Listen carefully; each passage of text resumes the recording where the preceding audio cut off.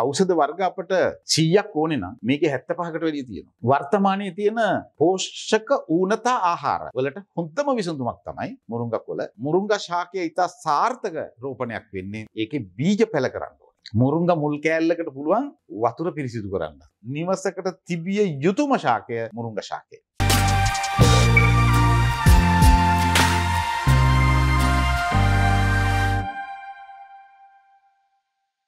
ආයිබෝවන් නීරෝගිමත් දෙන ප්‍රාර්ථනා කරනවා වේලාව YouTube නාලිකාවට. වෙලා YouTube නාලිකාරා අපි විවිධ මාතෘකා ඔස්සේ ඔබ කතා ඔබට ගේනවා. මේ සමහර මාතෘකා ගෙනීමේදී අපි බලාපොරොත්තු වෙන්නා වූ මාතෘකාවලට වඩා වෙනස් විදිහේ මාතෘකාවන් ඔබට ගෙන ඖෂධ පැත්ත කතා කරනවා, දියුණුව ගැන කතා කරනවා, දේශපාලන මේ හැම දෙයක්ම කතා කරද්දී වෙලාව YouTube නාලිකාව තව එක් පැත්තකට විවර කරනවා. මේ අපේ පරිසරයේ තියෙන විශ්මිත ගුණ දෙන්නා වූ අපෙන් ටිකක් වෙලා දුරස් වෙලා යන්නා වූ සමහර වෙලාවට බටහිරින් ඒ වෙනුවට ආදේශක අපේ රටට ගෙනෙන සමහර දේ ශාක තියෙනවා අපිට. මේ ශාකවල තියෙන ಗುಣ අපි ජනතාව අතරට ලබා දෙන්නට වෙහෙසක් ගන්නවා. ඒ වෙහෙස නිසාවෙන්ම අපි සමහර තැන්වලදී සාර්ථක වෙලා තියෙනවා මේ දේවල් වල ಗುಣ අගුණ ඔබට කියන්නට. ඉතින් මේ නිසාම ඊටමත් ගෞරවයෙන් මේ වැඩසටහනට අපි ආරම්භ කරා එතුමන්ට මේ තමයි සුදුසුම කෙනා මේ ගැන කතා කරන්න පරිසර ගවේෂක පාරම්පරික වෛද්‍ය පී.එම්. එදිරිසිංහ වෛද්‍යතුමන්. ආයුබෝවන් ඔබතුමාට. ආයිබෝවන්. දැන් ඩොක්ටර් මම මෙහෙම කතා කරන්නම් දැන් අපෙන් අපේ පරිසරයේ අපිට මේ අත පේන මානෙන් ගන්න පුළුවන් ඖෂධ තියෙද්දී ඇයි මේ අපි දේවල් පිට රටින් ගෙන්නන්නේ? ඒක මං හිතන්නේ ශ්‍රී ලංකාවේ විතරක් උරුම වෙච්ච කරුමයක් නෙමෙයි. ආසියානු අප්‍රිකානු පැසිෆික් කලාපවල රටවල් වල සමස්තය සූරාකෑමේ ක්‍රියාවලියට ගොදුරු වෙන්නේ එක්දස් පන්සිය ගණන් වලටත් එහායිදලා.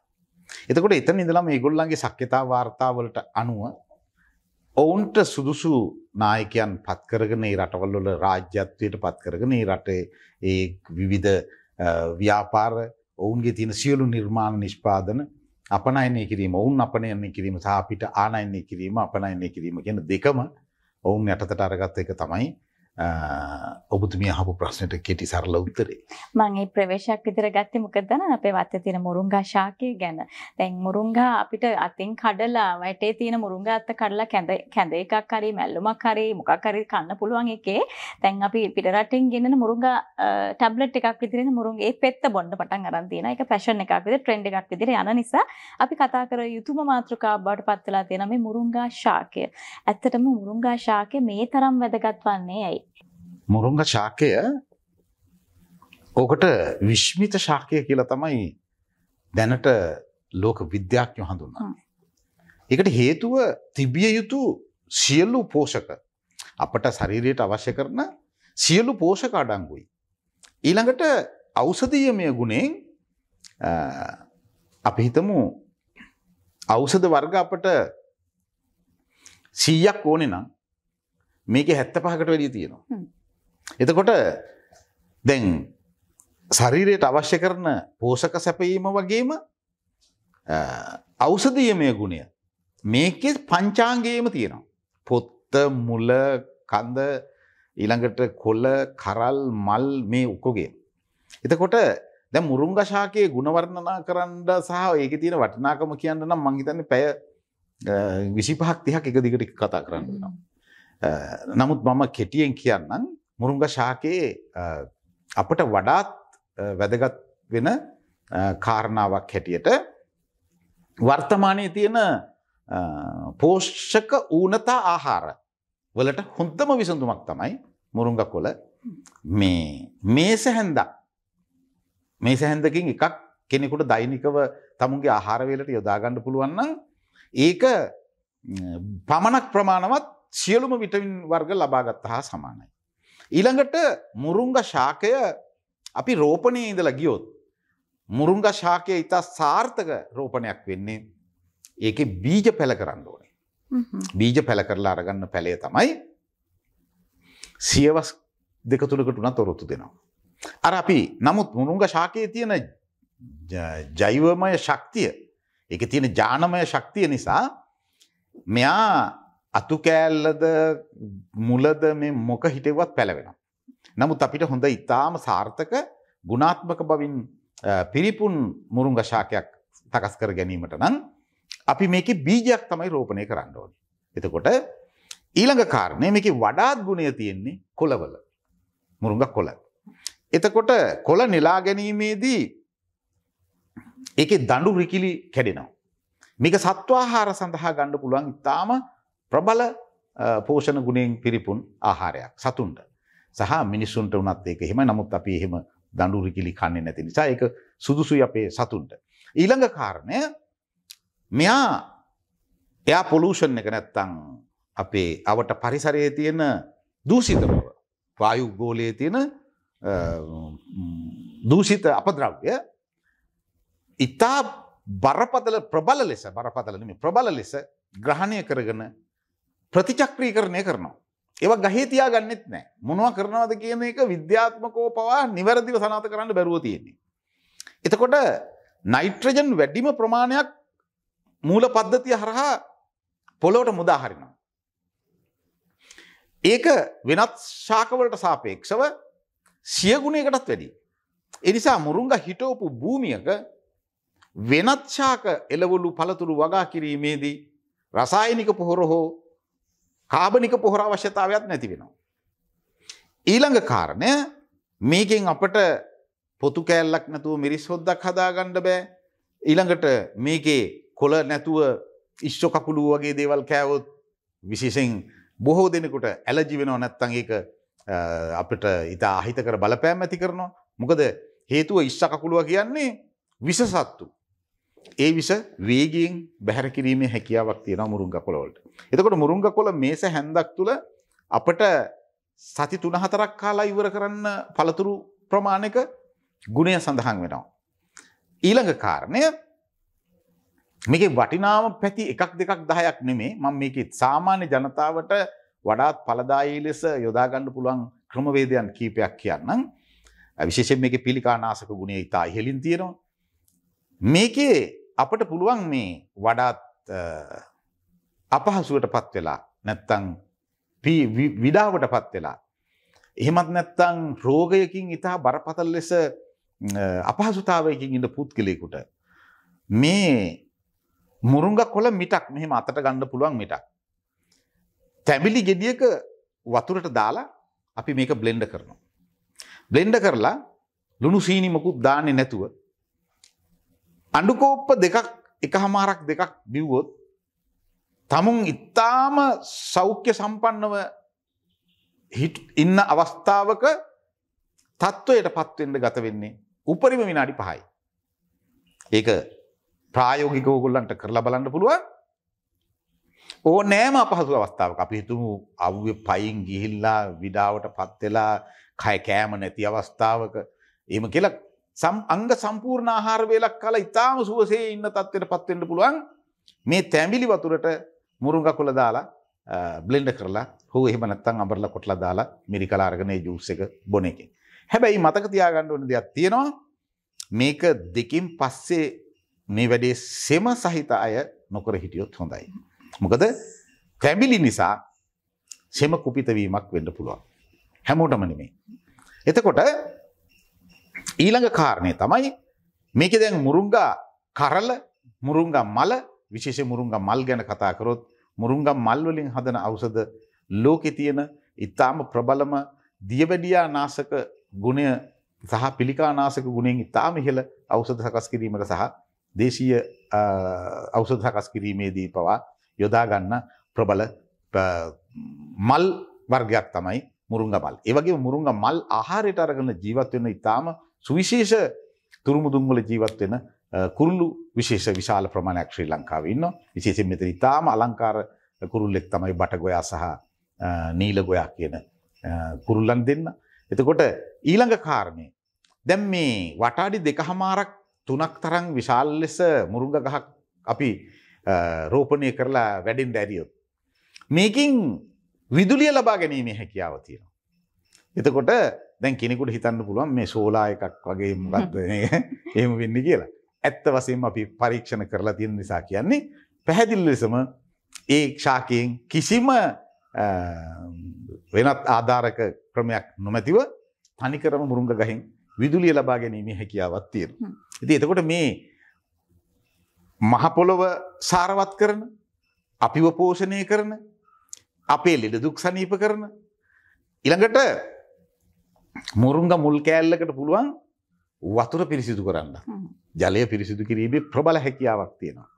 එතකොට දැන් මේ සියලු කාරණා කරගෙන යන ශාකයට මංහිතන් ලංකාවේ හිතන්නේ නෙමේ මම දෙදස් පහේ මම ලියපු පොතින් තමයි මේ මුරුංග ශාකය එලියට එන්නේ. මුරුංග ශාකය පිළිබඳ ප්‍රබල කරුණු කාරණා හෙළිතරව් කරලා සමාජගත කරේ මම ශාකත්‍රස්තවාදය පොතෙන් එතකොට එතනින් පස්සේ දැන් මුරුංගා ගැන රට පුරා කතිකාවත් ගොඩනැගිමින් තියෙනවා හරිම සතුටුයි. ඒවගේම ජනතාව යම් ප්‍රමාණයක් ප්‍රතිසතයක් මේකේ බොහෝ කොටස් බුක්ති විඳමින් ඉන්නවා. ඒවගේම අක්කර දහය පහලෝ වගේ විශාල ප්‍රමාණ වගා කරලා තියෙනවා. ඉතින් තවදුරටත් මේ ලෝක විනාශ වෙනකං ආහාර සහ පෝෂක ප්‍රශ්නය විසඳා ගැනීම සඳහා ඉතාමත් සුදුසු ශාකය නිවසකට තිබිය යුතුම ශාකය මුරුංග ශාකය. එතකොට ඒ මුරුංග ශාකයට පුළුවන් ගෙදර අවශ්‍ය කරන සියලුම නිවට්‍රීෂන් සියලුම විටමින් වර්ග සහ සමස්ත අවසදවලින් සියට අනු පහකට වැඩි ප්‍රමාණයක් තනිගහින් සපයා ගැනීම හැකියාව තියෙනවා. හැබැයි මං අර කියපු වගේ අපිට වඩාත් ගුණාත්මක බවින් පිරිපුන් කොළ පත්‍ර නෙලා ගැනීම සඳහා අපි බීජ ශාකයක් වගා කරන්න ඕනේ. ඊළඟට ඒ ශාකය දැන් මෙතින්දි කෙනෙකුට කියන්න පුළුවන් අපිට ඉඩ නෑ වගා කරගන්න පෝච්චියත් වගා කරන්න පුළුවන්. බැල්කන එක තියාගෙන පුළුවන් පෝච්චිය වටාට. පැහැදිලිව පුළුවන්. එතකොට එහෙනම් අපි අපේ පවුලේ කෙනෙක් වගේ අපේ දරුවෙක් සහෝදරයෙක් අම්මා තාත්තා වගේ එකට ඉන්න පුළුවන් හැමෝම ගරු කරන්න ඕනේ හැමෝම උනන්දුවෙන් රැකගත යුතු විශිෂ්ටතම ශාකය අපි දැනට ලෝකයේ හඳුනාගෙන තියෙන ශාකවලින් අතිවිශිෂ්ටතම ශාකය මුරුංග ශාකය කියලා මට පැහැදිලිව කියන්න පුළුවන්. එකවස දැන් මේ වකවානුවට විවිධ වෙළඳ නාම යටතේ මේ කියන්නේ මුරුංගා ටැබ්ලට් එකක් විදිහට ඇවිල්ලා තියෙනවා. එතකොට ඒක කොහොමද ඇත්තටම හොඳද උචිතද දැන් ජනතාව බොහොම කෙනෙක් දැන් අර ගෙදර වගා වගා කරගන්න නැතුව මේ මුරුංගා ටැබ්ලට් එකක් විදිහට එළියෙන් අරන් පාවිච්චි කරන අය ඉන්න ඒක වෙළඳ නාම විවිධ වෙළඳ නාම යටතේ මේක ව්‍යාජ දෙයක්ද නැත්නම් ඇත්තටම මේ විදිහට මුරුංගා ශාකයෙන් අපේ ලංකාව තුල මේ වගේ ඖෂධයක් නිෂ්පාදනය කරනවද කොහොමද ඒක? ඔව් සත්‍ය වශයෙන්ම ශ්‍රී ලංකාවේ මුරුංග ටැබ්ලට් එක නිෂ්පාදනය වෙනවා. ඒ වගේම ආසියානු කලාපෙ මුරුංගා රැජින මුණුංග තානාතිප්පතිනිය හැටියට නම් කරපු දමයන්ති මැතිනිය ඉන්නෙත් අපේ කණ්ඩායම. එතුමිය පහුගේ කාලේ ලෝක මුරුංගා ඕගනයිශේෂන් එකක් හැටියට ලෝකයේ සකස් කරලා තියෙන ආයතන ප්‍රධානී කාන්තාවත් මෙහි එක්කගෙනනවා. මේ මගේ ගෙදරට ඇවිල්ල කතා බහ කරලා ඒ ලංකාව මුරුංග වගා කරන්න සෑම ගෙදරකටම පැලයක් ලබා දෙන්න කියන සංකල්පය අපි ක්‍රියාවට නගලා තියෙන. එතකොට අපි පැල මේ වෙනකොට දසදහස් ගානක් ලබාදීලත් තියෙනවා. නමුත් සමස්ත රටවැසියන් පවුල් ලක්ෂ පනස් පහකට අපිට පැළ ලබාදීමේ හැකියාවක් නෑ. එනිසා අපි තොරතුරු දෙන්නේ එක මුරුංග කරලක් වේරගත්තාම පැළ හතක් අටක් හදාගැනීමේ හැකියාව තියෙනවා. ඕන තරං දෙහි අත්ත කණ්ඩිය සඳගල තැන්න පොළොන්නරුව අනුරාධපුර අම්පාර මේ ප්‍රදේශවල මුරුංග ගස්තු ඕන තරංව ඇල හැර බකමුණ ප්‍රදේශවල වේලිලා යනවා.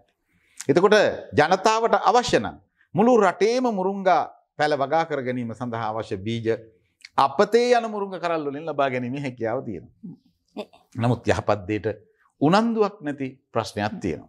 ඉති ඒක ඔබතුමාට මතක් කරන්න දැන් පුංචි දරුවන්ට හොඳ පෝෂ්‍ය පදාර්ථ වලින් අනුන දෙයක් තමයි මුරුංගකොළ සමහර අය මේ මුරුංගකොළ දෙන විදිහ දන්නෙත් නැහැ.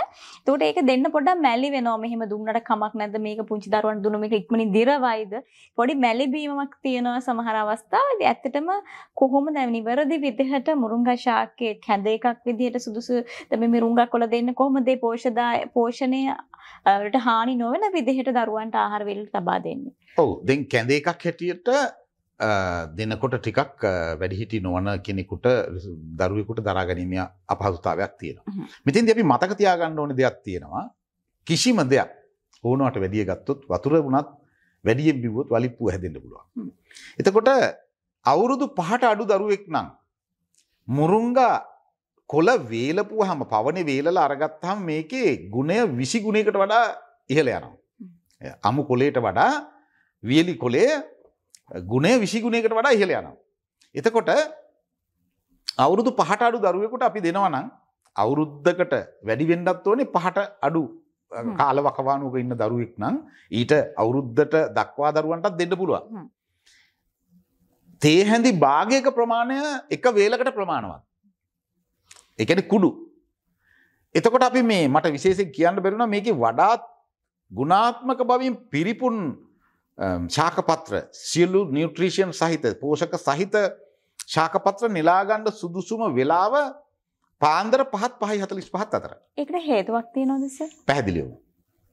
ඒකට තියෙන හේතුව තමයි සූරයා ලෝකය දකිනවත් සමගම මේ පත්‍රවල ගබඩා කරගෙන තිබුණු පෝෂක සියල්ල සමස්ත ශාකය පුරාම විහිදුවන්ට පටන් ගන්නවා.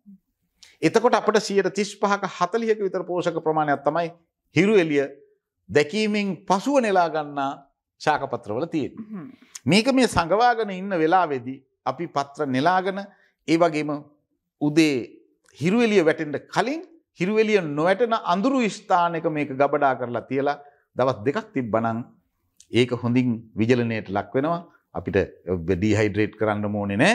එතනින් අපිට ඒක පවුඩ කරලා ගන්න පුළුවන් තරමට වේලෙනවා ඒකට වෙනත් ජලවාස්පමුකුත් එකතුවෙන්ට දෙන්නතුව තිබොත් ඉතාමත්ම සාර්ථක.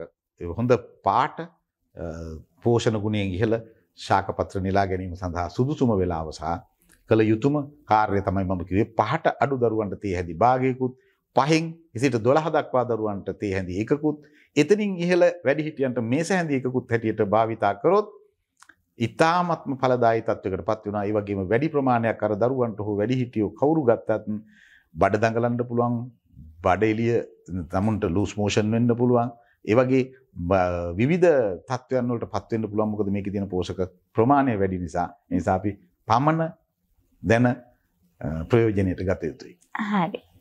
අද ඉතාම සුශේෂී මාතෘකාවක් තමයි කතා කරේ. මොකද මේ විශ්මිත ගුණ දෙන්නා මුරුංගා ශාකය ටිකටින් ටිකින් ටික අපෙන් ඈත් වෙලා ගියත් නැවතත් අපේ වෛද්‍යතුමන්ලා එකතු වෙලා මේ මුරුංගා ශාකේ ජනතාවට ලං කරමින් පවතින මොකද අර බාහිරින් ගන්නා විටමින් වලට ස්වභාවිකව ගන්නා විටමින් අපේ ඇඟට ඉතාමත් අත්‍යවශ්‍ය යුගයක ඉන්න නිසා. ඉතින් අපි මේ කාර්ය බහුල ලෝකේ කාර්ය බහුලත්වයෙන් මිදිලා අපේ තියෙන මේ ශරීර පද්ධතියේ තියෙන සමබරතාවයේ ඉක්මනින්ම ගිලිහිලා යනවා. ඉතින් ඒක රැක ගන්නට අපි අනිවාර්යයෙන්ම ස්වභාව ධර්මයෙන් ලැබෙනා වූ විටමින් වර්ග ගන්න ඕනේ. හොඳම උදාහරණය තමයි අපේ ගෙදර වත්තේ තියෙන මුරුංගා ශාකය.